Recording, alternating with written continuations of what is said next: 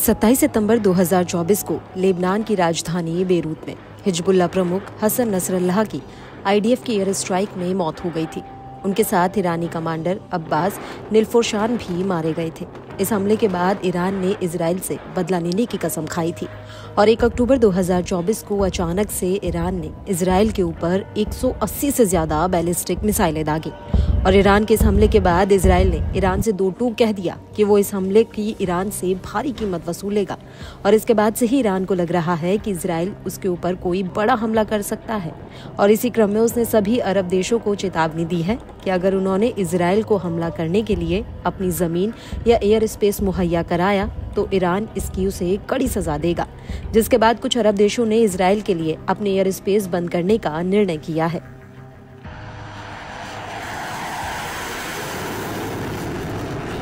और अब इसी कड़ी में ईरान के विदेश मंत्री अब्बास अरागची ने ऐलान किया कि वो इसराइल के साथ इस युद्ध के लिए पूरी तरह से तैयार हैं हालांकि उन्होंने ये भी कहा कि हम गाजा और लेबनान में शांति बहाल करने के लिए भी लगातार काम कर रहे हैं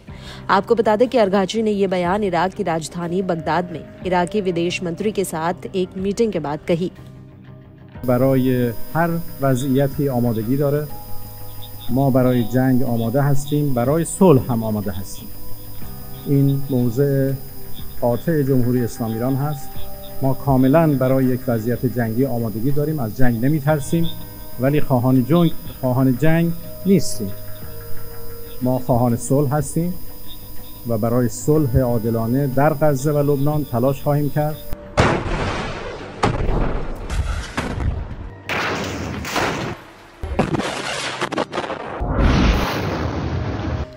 आपको बता दें कि ईरान ने यह भी कहा कि जो युद्ध पहले गाजा में शुरू हुआ उसके बाद लेबनान तक पहुंचा और अब उसका रुख ईरान की तरफ हो सकता है और इसको लेकर इराकी विदेश मंत्री का कहना है कि इजरायली हमले में इराक के हवाई क्षेत्र का इस्तेमाल नहीं होना चाहिए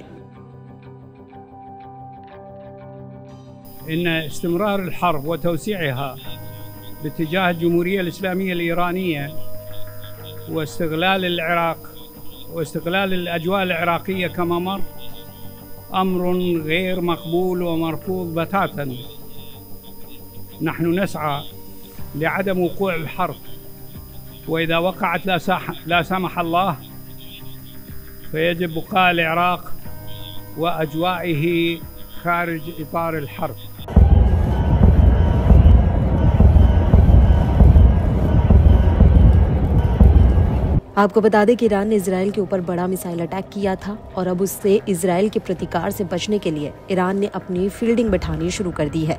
इसी कड़ी में ईरानी विदेश मंत्री खाड़ी देशों में घूम घूम कर इसराइल के खिलाफ समर्थन जुटाने की कोशिश में लगे हैं। और इसी कड़ी में अरगाची इराक पहुँचे थे, जहाँ पर उन्हें एक बार फिर साफ़ कह दिया कि अगर उनके ऊपर हमला हुआ तो इससे अन्य खाड़ी देश भी अछूते नहीं रहेंगे। इससे समुद्री व्यापार और ऊर्जा सप्लाई पूरी तरह से चरमरा जाएगी।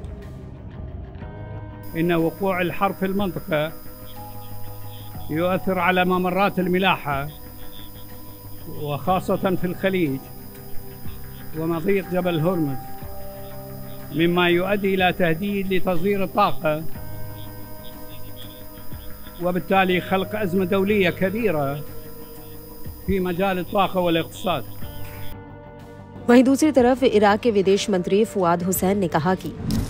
लेबनान के खिलाफ इसराइल की आक्रामकता पूरे इलाके को युद्ध में झोंक सकती है। क्षेत्र में कोई भी युद्ध, स्थानीय शांति और सुरक्षा के लिए गंभीर परिणाम ला सकता है।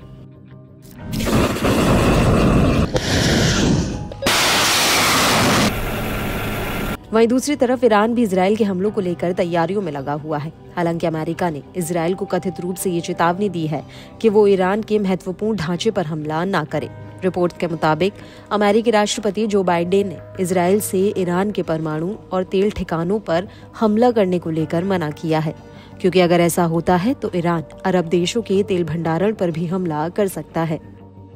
और इसी को लेकर न्यूज़ एजेंसी रॉयटर्स का कहना है कि खाड़ी देशों ने अमेरिका से अपील की है कि वो इसराइल को ईरान के तेल ठिकानों पर हमला करने से रोके। सूत्रों के मुताबिक, सऊदी अरब यूनाइटेड अरब अमीरात और कतर ने कहा है कि वो इसराइल को अपने हवाई क्षेत्र का इस्तेमाल नहीं करने देंगे, क्योंकि ईरान पहले ही सऊदी अरब से कह चुका है कि अगर इसराइली हमले में सऊदी के हवाई क्षेत्र का इस्तेमाल हुआ तो उससे सऊदी के तेल इंफ्रास्ट्रक्चर को खतरा पैदा हो जाएगा।